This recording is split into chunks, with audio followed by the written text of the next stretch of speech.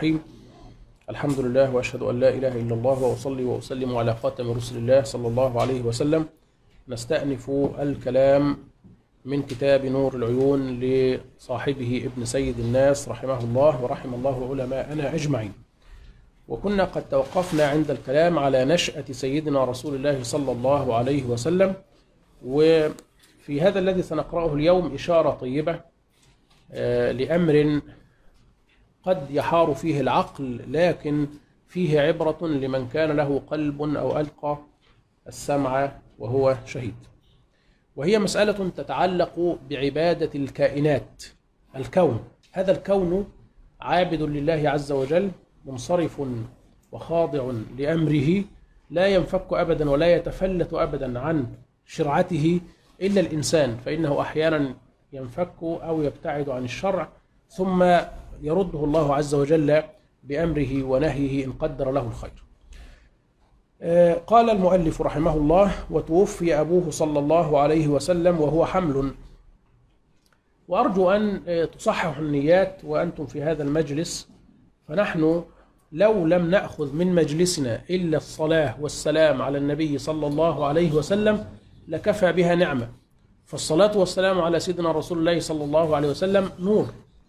والصلاة والسلام على سيدنا رسول الله صلى الله عليه وسلم قرب من الله. والصلاة والسلام على سيدنا رسول الله صلى الله عليه وسلم باب البركات في الدنيا والآخرة. نسأل الله ألا يحرمنا من بركاته ولا من فضله. يقول وتوفي أبوه صلى الله عليه وسلم وهو حمل. يعني هذا رأي من الآراء. يقول إنه كان في بطن أمه لم ينزل إلى الدنيا بعد وقت أن مات أبوه. وقيل وله شهران.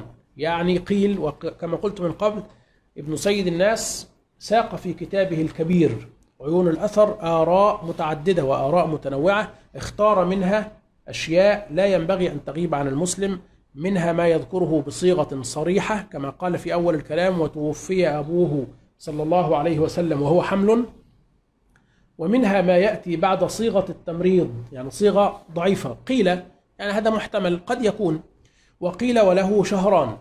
يعني مات أبوه بعد أن ولد بشهرين وقيل سبعة يعني له سبعة أشهر وقيل مات أبوه وله ثمانية وعشرون شهرا. ثمانية وعشرون شهرا يعني كم في العمر؟ يعني سنتان وأربعة شهور. ولكن النبي صلى الله عليه وسلم مات أبوه الذي يرعاه ويربيه ويعنى بشأنه ثم ماتت أمه وهو ابن أربع سنين. كأن الله عز وجل أراد أن تبقى يد الله عز وجل وعناية الله عز وجل هي التي تكفله وترعاه. حتى لا يقال له أب سهر عليه أو له أم دللته أو له جد حتى إن جده سيموت بعد قليل أو له جد عني به وأنفق عليه أو نصره حتى تظل عناية الله عز وجل هي أولى من كل عناية. وماتت أمه وهو ابن أربع سنين وقيل ست سنوات.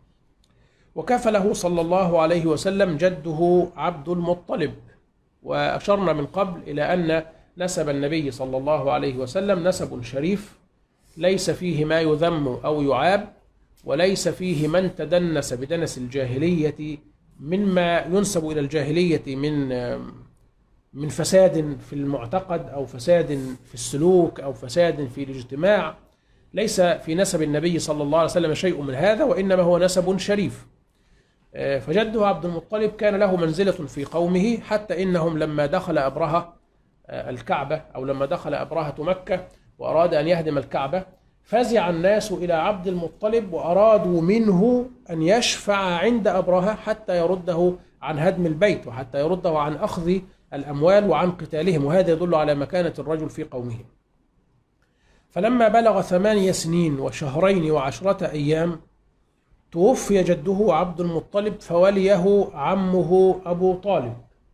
وعمه أبو طالب رد النبي صلى الله عليه وسلم له الجميل جميل الرعاية وجميل المؤنة وجميل الكفالة بأنه أخذ منه ولده عليا رضي الله عنه وكرم الله وجهه فكفله أيضا وربه.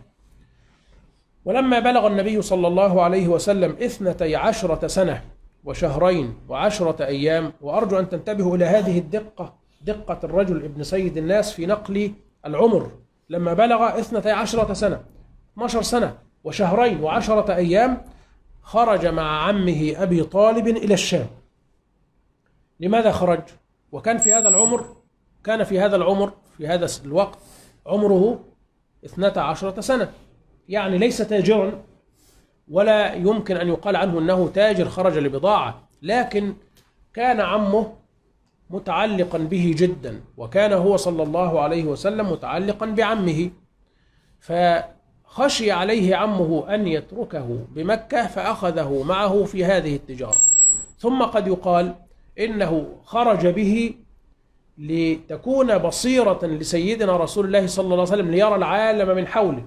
ليس فقط هو مقيم في أرض الجزيرة ولكن أيضا خرج إلى الشام ومر بالقفار وتعرض لما يتعرض له لما يتعرض له كل مسافر فحتى هذا يكون بابا من باب التربية وبابا من باب السكينة النفسية وهو يطالع الكون. وحتى يعرف أنه إنما لم يرسل إلى قوم خاصين وإنما أرسل إلى شيء مطلق الأمة أمة الدعوة كلها.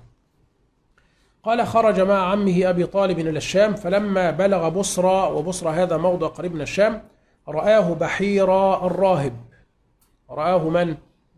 بحيرة ليس اسمه بحيرة اسمه بحيرة الراهب.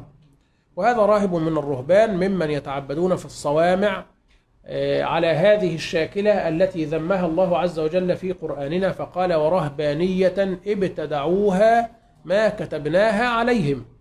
هذا الذي ينقطع عن الدنيا ويترك ما أحل الله عز وجل في الدنيا حتى إن الله عز وجل يعني أحل الطيبات وأحل قل من حرم زينة الله التي أخرج لعباده والطيبات من الرزق. يعني من هذا الذي يجرؤ أن يحرم ما أحل الله.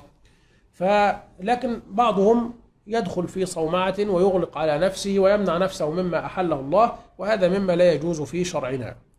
نعم يجوز لك أن تخلو بنفسك.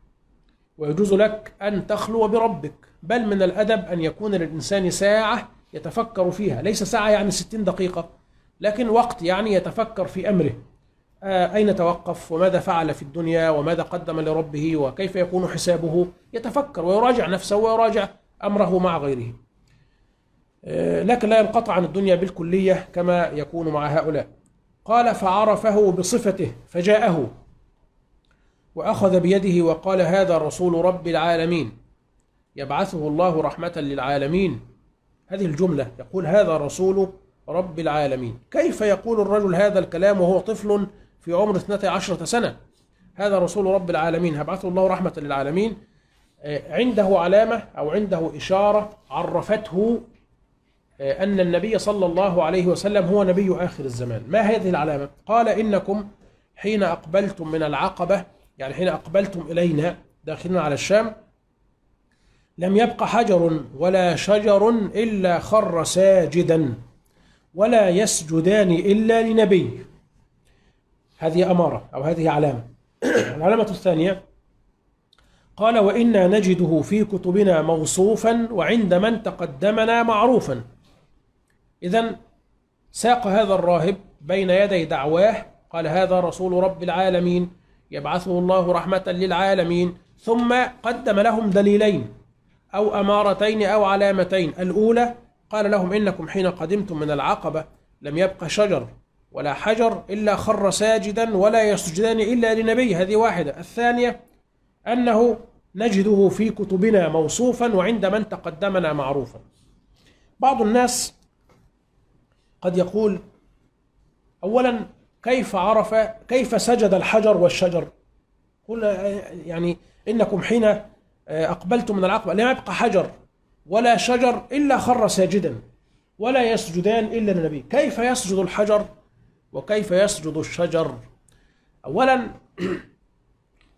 البعض أحيانا يفوته أن الكلمة الواحدة في لغة العرب تتعدد معانيها. هذه واحدة. الثانية أن السجود الذي نعرفه في الشرع هو هذه الهيئة التي نعرفها في الصلاة.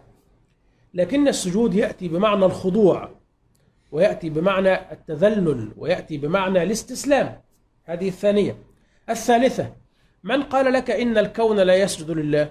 من قال لك؟ بل كل ما خلق الله كل ما خلق الله. ونقول كل هذا لفظ يدل على الإحاطة والشمول. كل ما خلق الله خاضع لله منفعل بشرعه لكن على وجه غير الذي نعرف. الكون ساجد لله الكون ذاكر لله الكون مسبح لله لكن نحن نعرف نعرف ما مثلا مثلا ما البكاء؟ نعرف أن البكاء هو حزن يتبعه صراخ ودموع. هذا البكاء الذي نعرفه. لكن حين تقرأ قول الله عز وجل فما بكت عليهم السماء والأرض هل الأرض تخرج الدموع؟ لا ليس.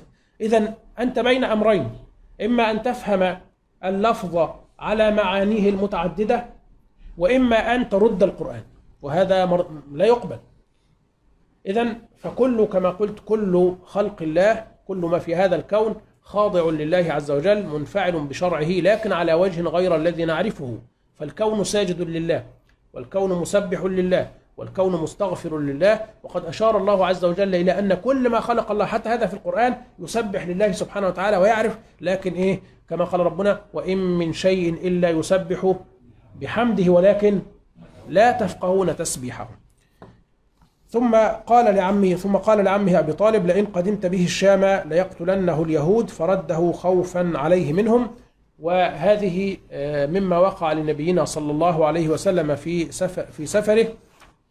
وعنده سفرة ثانية أو رحلة ثانية مع عمه أيضا إلى الشام. أيضا وقع له فيها علامة من العلامات حين خرج أيضا راهب ودل على أنه نبي إن شاء الله سنذكرها ونسوقها إن شاء الله في المرة القادمة. نسأل الله عز وجل ألا يحرمنا بركة النبي صلى الله عليه وسلم. سبحانك اللهم وبحمدك نشهد أن لا إله إلا أنت. نستغفرك ونتوب إليك. وجزاكم الله خيرا.